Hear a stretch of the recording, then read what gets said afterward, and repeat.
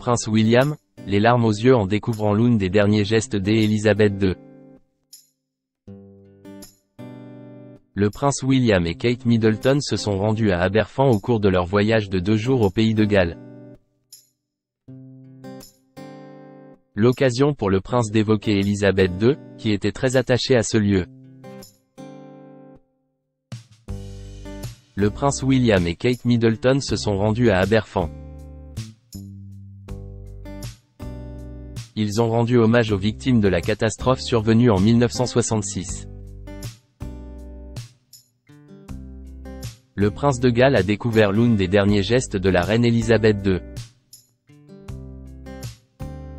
Quelques jours avant le couronnement du roi Charles III, le prince William et Kate Middleton ont décidé de se rendre au pays de Galles pour un voyage de deux jours. L'occasion pour eux de visiter Aberfan. Dans ce petit village du sud du pays qu'où une de la mine locale avait subi un glissement de terrain et provoqué la mort de 144 personnes dont 116 enfants, le 21 octobre 1966. Au cours d'une matinée riche en émotions, le prince et la princesse de Galles ont rencontré les survivants et rendu hommage aux victimes de cette tragédie. Ils ont ainsi visité le jardin commémoratif et le cimetière du village. La princesse a été vraiment touchée.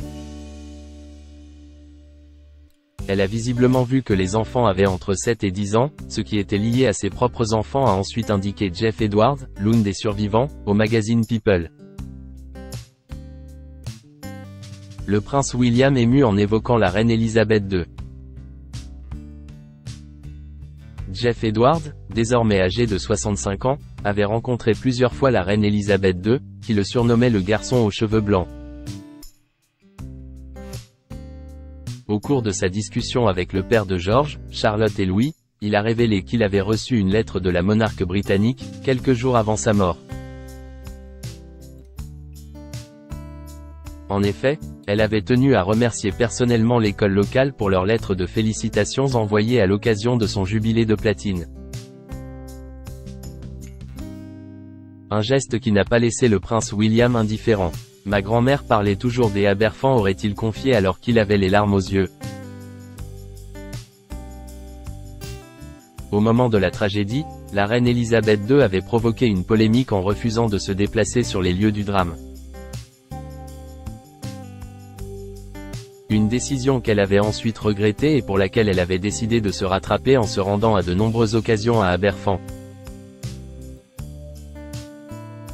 Après sa visite, le prince William a promis qu'Arbefan ne serait jamais oublié dans les générations à venir. Une belle manière pour lui de continuer de préserver le lien entre le village et sa défunte grand-mère.